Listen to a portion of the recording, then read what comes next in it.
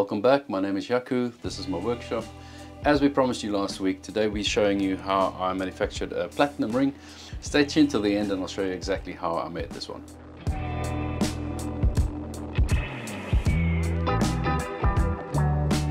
I'm taking the measurements of the diamond to start off with so I know what I've got to work with. Remember everything from the center outwards, so that's my very first point of starting. You can't change the size of the stone if it's there, you can't change the size of the finger size, so we've got to work around those dimensions. I'm starting with the diamond and then I'm also taking the measurements of the platinum and I'm doing that just to show you how thick it is and what weight I'm working with because we're good like that, am I? We're sharing yeah. information, yeah? Cool. I'm leaving the square part in the center. I'm really only concentrating on the edges. I need three claws per side and I'm going to flatten at the ends now so that I can achieve three claws out of the flat area. Looking at the front part where I flattened it. The front part needs to be thick enough to, because that's really the top part of the claw that I'm going to be bending. It needs to be substantial enough to hold the stones. As I'm hammering this, I'm realizing I'm finding a pattern on the actual metal as I'm flattening it, which means one thing. It means that there's some sort of a mark on my hammer which I have to stop now and quickly sort out.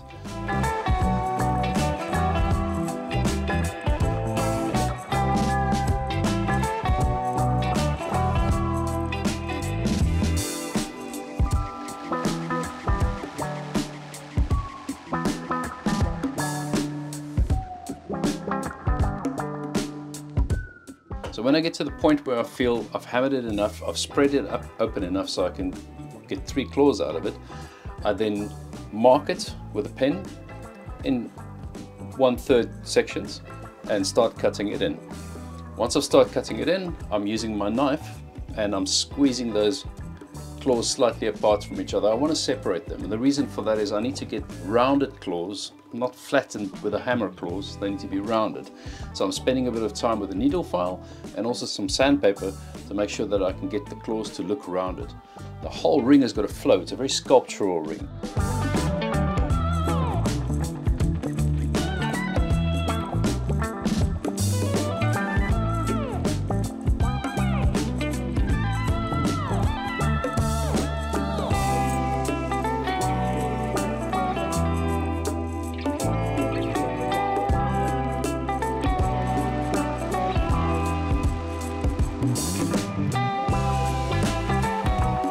Once I've got my three claws per side, I anneal the ring, put it into the ring bender, and now sit with a shape which is U shape.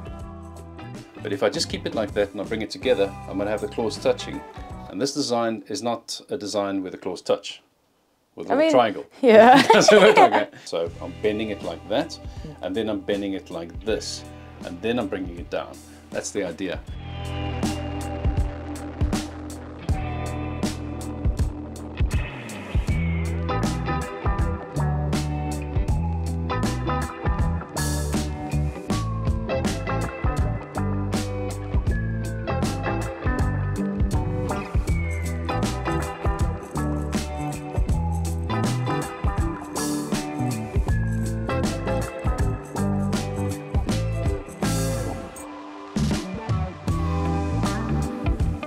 I'm sitting with the ring and it kind of like looks like this. Like two gang signs. Two gang signs, yeah. like antlers. It's a beautiful thing.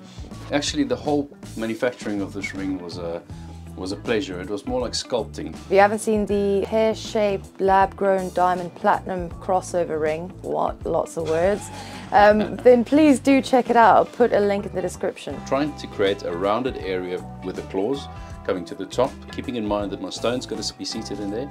But at the same time, as I'm moving along, I'm repeating what I'm doing on this side to this side and continuously looking at both sides to make, uh, to make sure I'm balanced.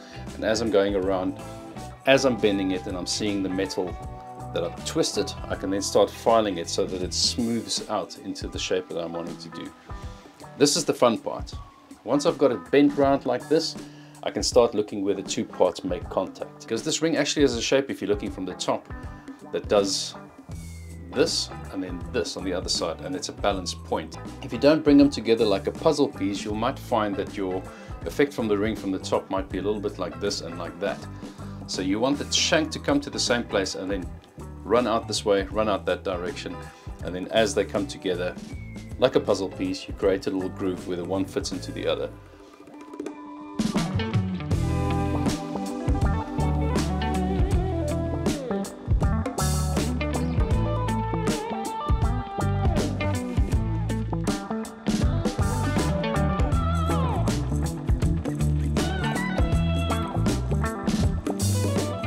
Now that all that sculptural stuff at the top is ready, I can turn my attention to the shank part. Of course, we've got a very chunky shank because we've been working with a very thick piece in the middle. I need to shave that, make it appropriate for the, for the scale of the ring, and also at the same time, the width. So I'm looking at the width and the height, and I'm shaping that, rounding it. That whole flow needs to come in from the claws right down to the shank and organically go up to the top again. A tip I can give you at this point, if you're looking at smooth motions like that, Rather than looking at the material, once you get it to a point where you're on the sanding side of things, use the light. The light actually shows you, if you've got a light reflection on your ring itself, and this is in a matte format now, and you're looking at the light, the light will be smooth and then you'll see a little kink in the light. So it will, it will telltale sign that something's stopping that light's reflection. So by looking at the light itself, you can make sure that you can file it until that light is consistent all the way on the reflection of your ring. This way you know it's absolutely smooth. If you've got any kind of distortion of the reflection of your light, maybe going slightly down, then you know you need to get a little bit of that material away. That's a tip for today's video. I'm leaving excess wires at the top because I don't need to cut those until I start setting, but I can see that there's a nice rounding for the stone to be seated in. I hope you guys are following me up until this point. I get a little lost in regarding to explaining these things, and I hope that some of this hits the ears and makes sense to you.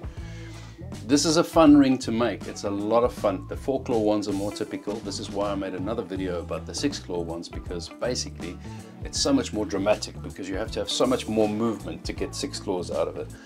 I hope that you've learned something from this. At this point I've got a little sculptural piece.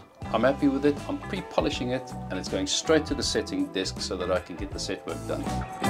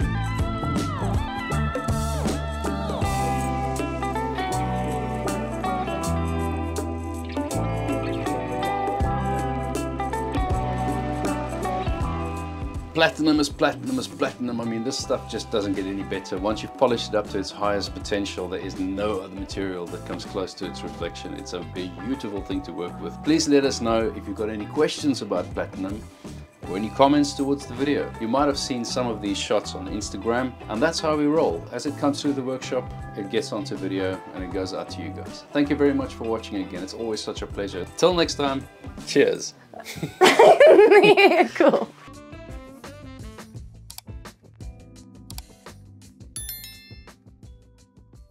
I'm not messing. Can you see my socks? Yeah, yeah, yeah. Love it.